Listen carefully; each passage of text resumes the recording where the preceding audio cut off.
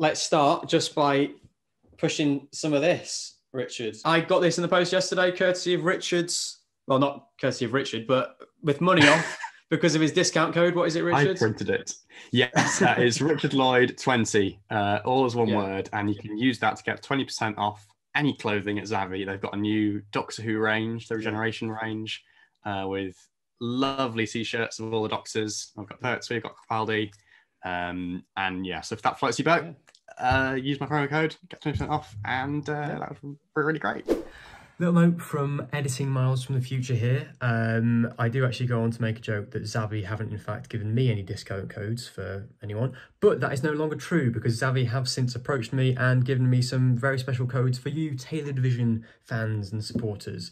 Um, you can use the code TAYLORD20, which should be on the screen now, for 20% off t-shirts and clothing items, uh, and TAYLORD10 uh, for 10% off site wide uh, on any of their products, be it steelbooks, DVDs, Blu rays, whatnot, uh, with the exception of pre orders and a few other little bits. I think tech and Lego aren't involved in that. Uh, but yes, Tailored 10 will get you 10% off any product on uh, Zavvi. And Tailored 20 will get you 20% off any clothing items. So now you've got two sets of discount codes to choose from uh, mine or Richard's. Choose who your loyalties lie with. And uh, yeah, one of us will be very offended, the other one will be eternally grateful. I don't know where I'm going with this. In, enjoy the video, please.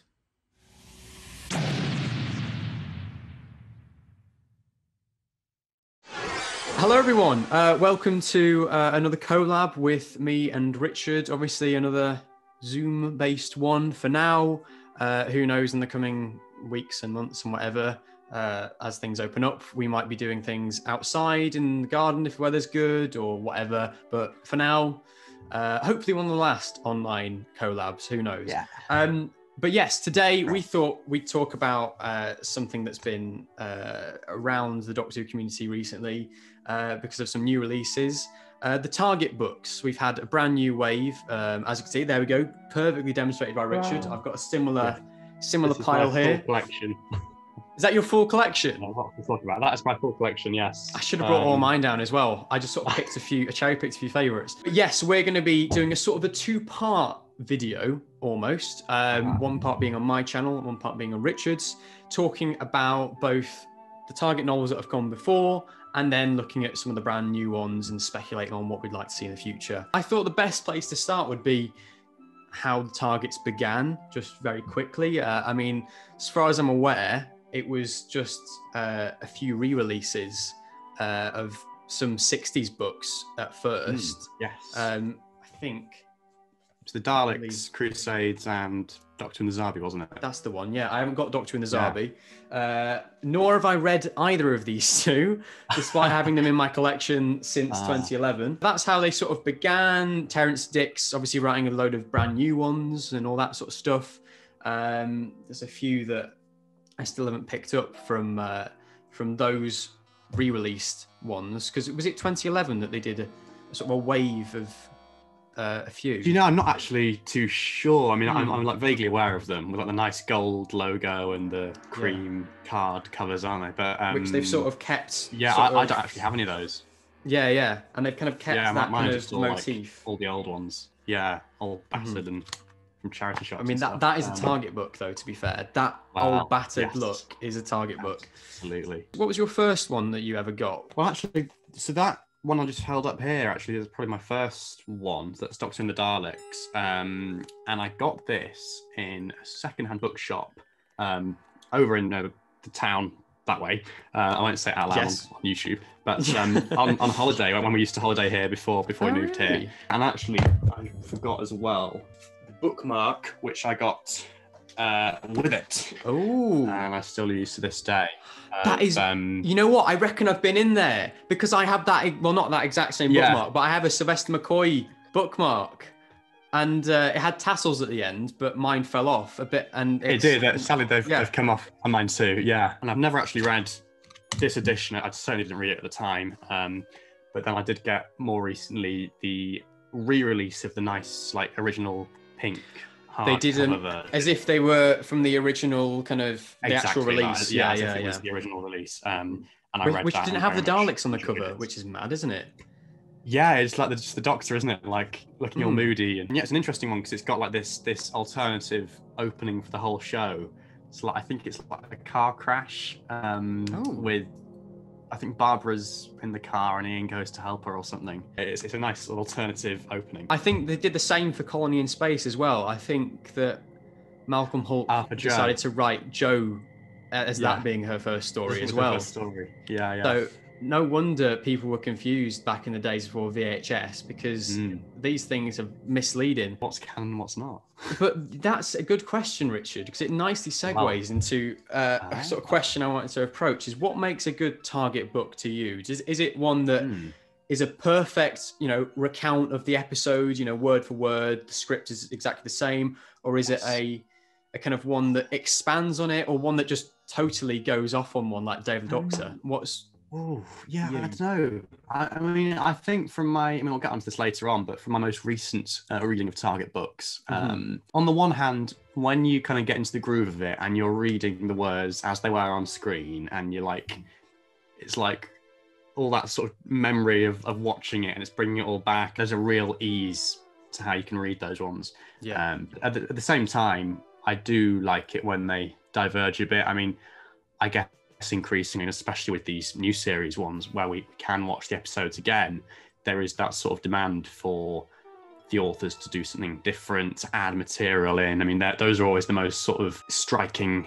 bits and conspicuous Yeah. bits in the, the, these new books. Yeah, it's an interesting one. Yeah, I mean, they both have their place. You Yeah, the, I know the what you faithful mean. ones and the unfaithful ones. Mhm. I think I would sway myself more towards the ones that do something a bit different. But at the same time, there's something very kind of comforting about reading one which is just exactly as it was, I think. I How about exactly you? You? Yeah, I know exactly what you mean about like there's merits to both of them, and Yeah. especially in uh, when they were originally sort of devised. I guess the main point of them essentially was just to retell these stories because you didn't have Mm. VHS, you didn't have DVDs and all that sort of stuff. You didn't have special yeah. features and commentaries.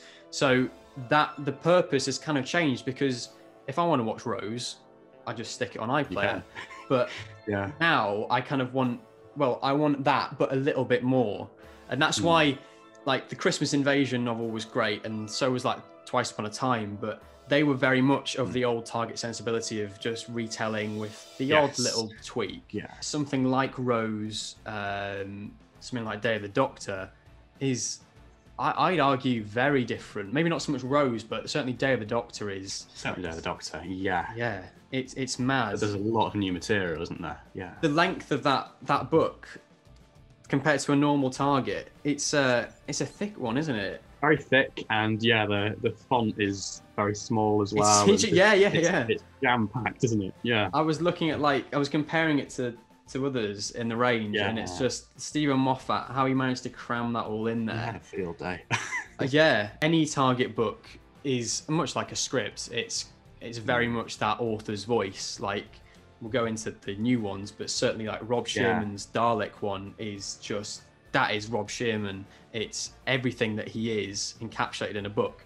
Dave the mm. doctor is steven moffat you know going off on one eh, mid paragraph and R- rose is very much russell's real humans and real characters and uh, backstory and uh, kitchen sink drama like their TV things. So Mm. even though the the story might have changed, the sensibility of the episodes is still there. The 2018 uh, targets when they came out uh, wasn't that like because it wasn't really promoted yeah. at first, but suddenly we had these these amazing books. Yeah, I was I was looking this morning, like trying to find the announcement, and I couldn't find anything earlier than February that year. So Yeah, unless Well, I've I've missed some some prior announcement, I think it must have been quite quick. I mean, obviously, twice upon a time had only aired a couple of months before, so yeah, yeah. they sort of had to announce it. After And I. I, I, I do remember they popped up on Amazon before a proper announcement, and everyone was really confused of like, what is this? Doctor Who Rose Yeah. by Russell T Davies. yes. What what's going on here?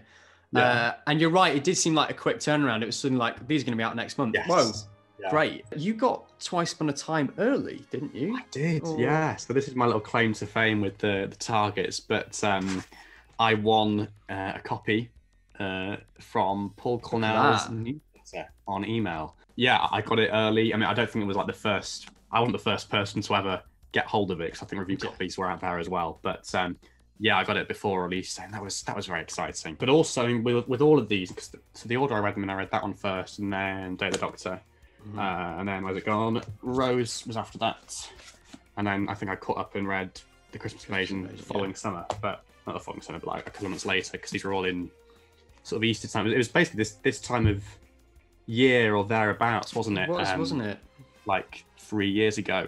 And the interesting thing was, I don't know about you, but because obviously that time we were both finishing our A levels and finishing school, weren't we? And like Mhm. this was just like a really nice thing I remember to kind of offset revision and, and to Yeah. have going on at the same time. Um, They're so special, yeah. so I get very, I- very exactly nostalgic for them. Yeah, they, they were Yeah, great.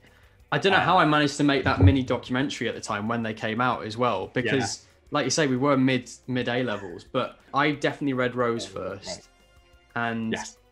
I literally devoured it. I think, if not in a day, in at least two. Yeah, no, I, I just think, yeah, like I say, they're so special, and uh, it was just great to get a new series version of these this kind of renowned classic series um, book series of you know the targets. I think it was genius. Yes. It's it's such a great and, and and they've they've all been done so well as well. I can't think of a single one that that hasn't been uh, Yeah. that hasn't been great. What was your exposure to the targets before that? Because certainly for me, I'd like I'd picked up these two in Forbidden Planet. They were like Yeah, they did a Um, they did a wave of like like crisp new ones, didn't they? reprints, weren't they? Yeah, they Yeah. were sort of like there, and they seemed to have loads of them going spare. So like for I don't know, very cheap. So I They were I like a picked those- pound or pound fifty or something, weren't they? Yeah, certainly. Yeah. Um, and I haven't actually read The Green Death yet, but I read Marco Polo. I think that must have been the only one I had read prior to these new ones. So the, the new ones, for me at least, was uh, very much my sort of first exposure Mhm. to them, to be honest. Yeah, I mean, certainly for me, it was, it was reading reading these ones um, was my first exposure to it. And it was great because, you know, you had Twice Upon a Time, which, as we say, was just, you know, a couple Brand of months before it was on screen. So that was, yeah, the, the kind of novelty of that. And then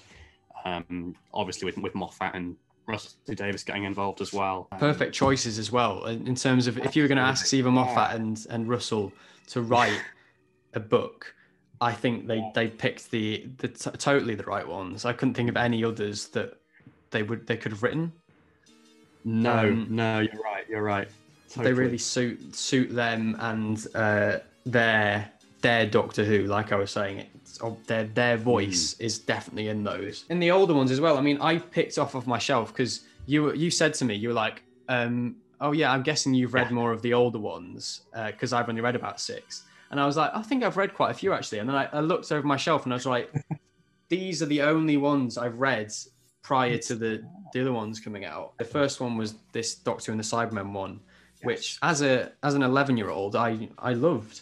Um, and I've not gone back to since, but I should. And the other ones were kind of just like now and then, you know, quick reads when I was like, I don't really feel like a full book, but I want something to get my teeth yeah, into. yeah. Basking in the sun, reading the Invasion last year, Yes, I remember remember that because there Yeah. are like pretty questionable parts of, of that that appeared on your. Ian. Marter really did put some some odd things in there. Um, I think in the 80s they kind of did. Uh, they were sort of like, well, what audiences are these books, you know, for? Mm. and there's a lot of there's a lot of swearing included in here. Um, there's Jamie getting his bones broken and all that sort of stuff. It's uh, it's a very strong it's a strong book, um, but really like enjoyable. I mean, look at that cover. I, I Mm, love that. great?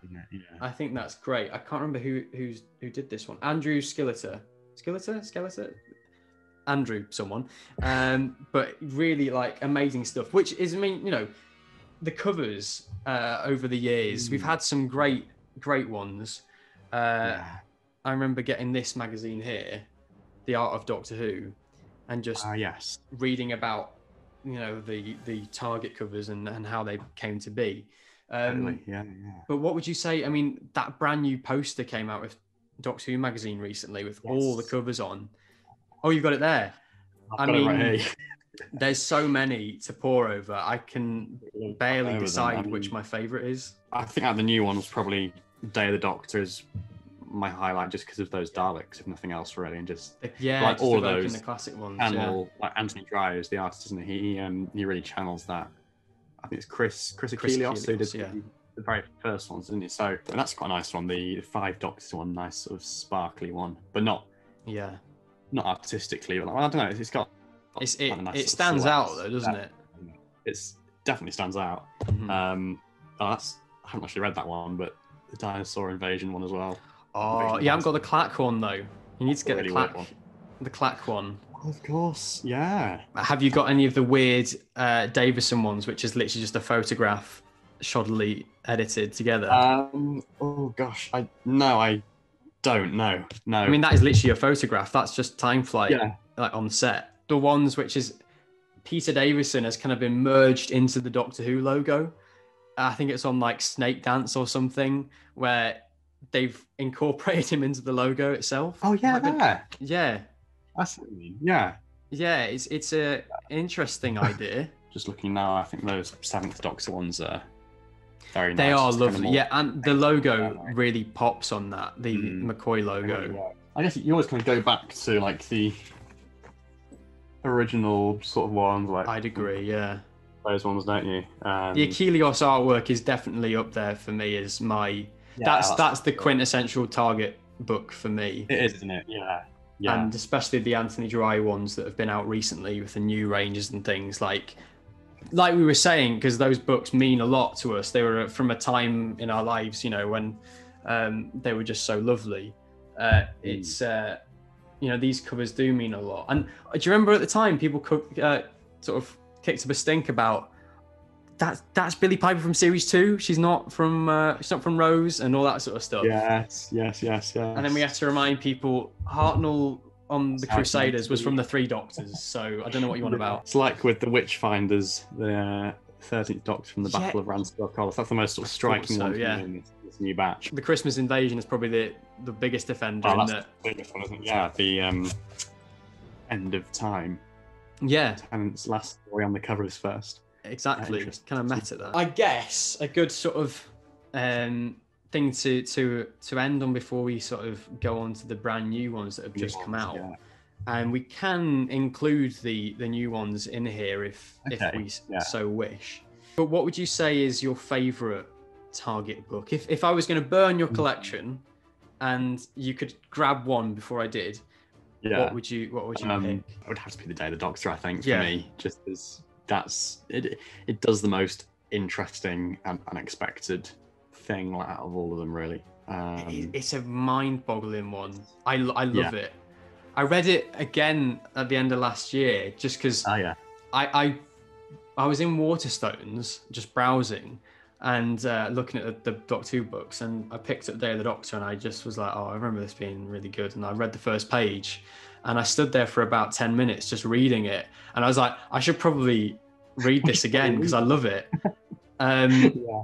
So yeah, I read that again last year, and uh, Mm. it's it's a really good one. But for me personally, I think it's got to go to um, to Rose. Rose because, Yeah. like I said, I I just eat it up, um, and every time I've read it, because I've read it a few times, um, it's uh, it, it just does so many great things. One of the best being how Rose herself isn't actually described until the final page, give or take the last page, isn't it? Yeah. and I just think that's so so clever in that you know we've had this girl with us for all this time, and it's only at the end when the doctor's there that she really becomes defined. I think that's just it's Mm. really clever, um, and the extra stuff that's added in there. The Autons with blades in their hands or something along those lines. I can't quite remember. Now, isn't there? And like the South Bank and Yeah, explosions and battles and stuff. And yeah, Exactly. And we've now Wow. got a sequel to that as well, which is quite cool um, after the Lockdown Who stuff. So that's the target books of the past. That's our journey into terror and uh, escape from danger and all that sort of stuff. yes. Um, but uh, we were obviously lucky enough this year to get some new ones, uh, Mm. which Richard has read two of.